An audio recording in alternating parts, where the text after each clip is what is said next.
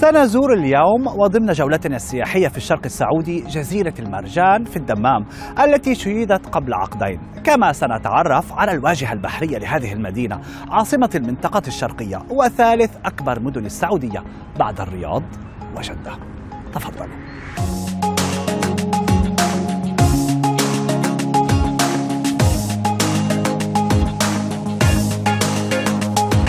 الواجهة البحرية هي كامل الكورنيش الممتد لأكثر من عشرة كيلومترات.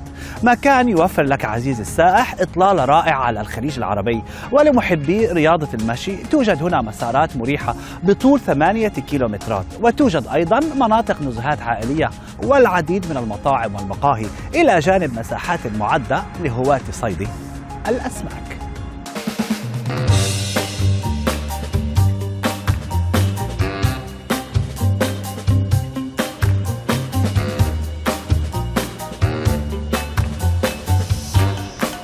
السلام عليكم. شكرا.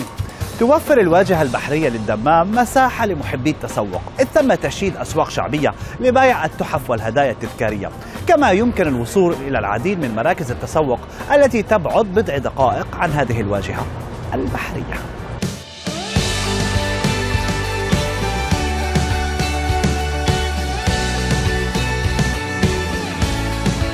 تعد جزيرة المرجان من أبرز المشاريع السياحية التي تحتضنها المنطقة الشرقية بوجه عام ومدينة الدمام بوجه خاص. وتقع هذه الجزيرة على امتداد كورنيش الدمام وتوجد هنا جلسات جميلة مطلة على البحر. ويمكنك عزيزي السائح مشاهدة جزيرة المرجان من أي موقع في كورنيش الدمام من خلال منارتها الشاهقة.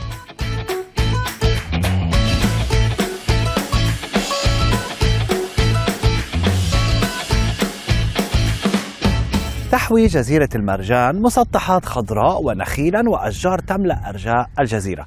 إذ يمكن التنزه في أرجاء المكان الذي يضم أيضا مجموعات متفرقة من ألعاب الأطفال تتيح لهم الاستمتاع واللعب.